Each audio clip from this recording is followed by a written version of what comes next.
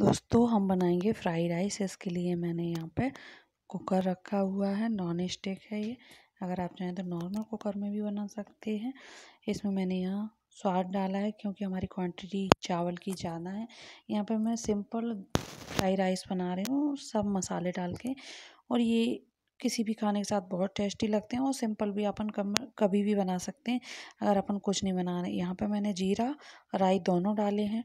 और ये गोल्डन हुए तो मैंने इसमें अब तेज़ पत्ता डाल दिया है, उनको थोड़ा सा चलाएँगे। अब हम इसमें डालेंगे अदर लहसुन, बारीक कटा हुआ।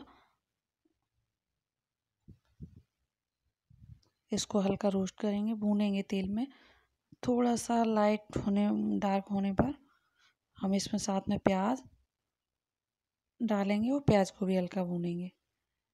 साथ ही हम हरी मिर्ची भी डाल देंगे।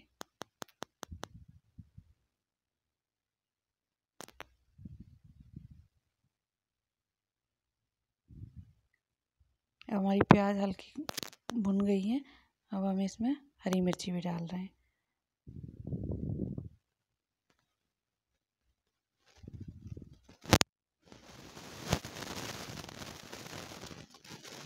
अब इनको ब्राउन होने तक भूनते रहेंगे। ये हमारे मस, प्याज, मिर्ची सब गोल्डन ब्राउन हो गई, अब हम इसमें मसाले डाल रहे हैं। इसमें हमने मिर्ची और धनिया पाउडर, गरम मसाला टमाटर डाले। अगर आप टमाटर हटाना चाहते हैं तो हटा सकते हैं, क्योंकि हम इसमें नींबू भी निचोड़ सकते और इसमें हमने थोड़ी सी हल्दी भी डाली। दोस्तों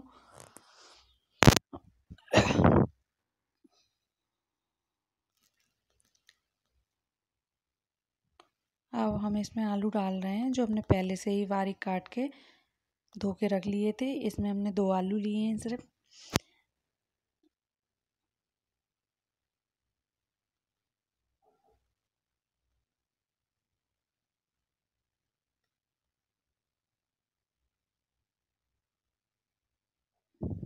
आलू हमने अच्छे से मसाले में थोड़ा सा भुने।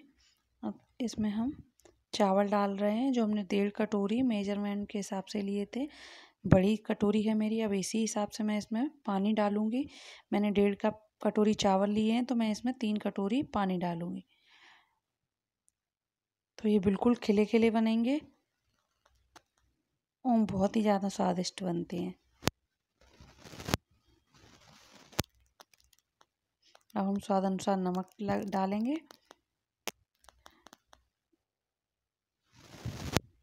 यहाँ पे आपने रेड, मैंने यहाँ पे इस रेड चिली पाउडर इसमें अच्छा डाला है क्योंकि तीखा चटपटा बनेगा और धनिया पाउडर भी हम इसके साथ ही डाल देंगे।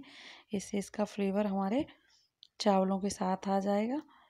और आप डालना ना चाहें तो आप बाद में भी डाल सकते हैं जब हमारे चावल रेडी हो जाए। ये हमारे चावल बिल्कुल रेडी हो गए हमने इस रेस में दो सीटियाँ लगवाई हैं। हम देख सकते हैं। आपको लग रहा होगा ये थोड़े कम खिले बने लेकिन ऐसा नहीं है। अभी इनकी सीटियाँ हटाई, जैसे ही ये ठंडे होंगे, बिल्कुल खिले खिले बहुत स्वादिष्ट लगेंगे। इनको गर्मा गर्मा सब करें। वीडियो देखने के लिए आप सभी का बहुत बहुत धन्यवाद। अगर आपको मेरा वीडियो पसंद आए तो लाइक करें सब्सक्राइब करें। वीडियो देखने के लिए आपको फिर से धन्यवाद।